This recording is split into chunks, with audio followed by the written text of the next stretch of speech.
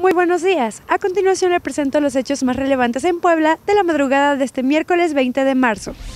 Transeúntes reportaron la presencia de un registro de drenaje sin tapa sobre la 11 Sur, esquina con Avenida Nicolás Bravo, en la colonia Mayorazgo. Este registro representa peligro para quienes circulan por la zona, ya que se encuentra en medio de la cinta asfáltica vehicular y no cuenta con ningún tipo de señalética de prevención. Varios pilotos han declarado que sus automóviles han sufrido daños menores al no percatarse del desperfecto del registro. Tómelo en cuenta si usted circula por la zona en horas de oscuridad y extreme precauciones. Automovilistas hacen un llamado a las autoridades correspondientes.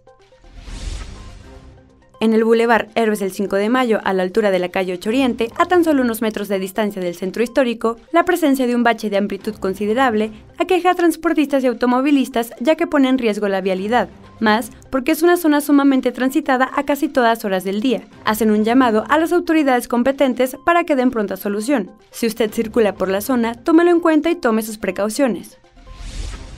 También se hizo el reporte de la presencia de numerosos baches sobre la calle 21 Sur, esquina con 23 Oriente. Es un problema que inquieta a los vecinos, transportistas y automovilistas que circulan por la zona ya que la vía es altamente transitada. Circular por esta calle obliga a los pilotos a hacerlo de forma cautelosa, lo que muchas veces genera tráfico lento y pone en riesgo la vialidad. Los colonos hacen un llamado a los mandos correspondientes. Si usted frecuenta la zona, tome esta información en cuenta.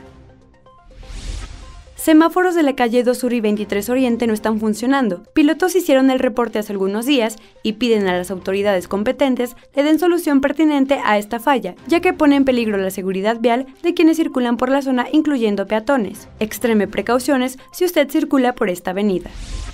Con imágenes de Neri Lucero, para Puebla Noticias, Rubí del Razo.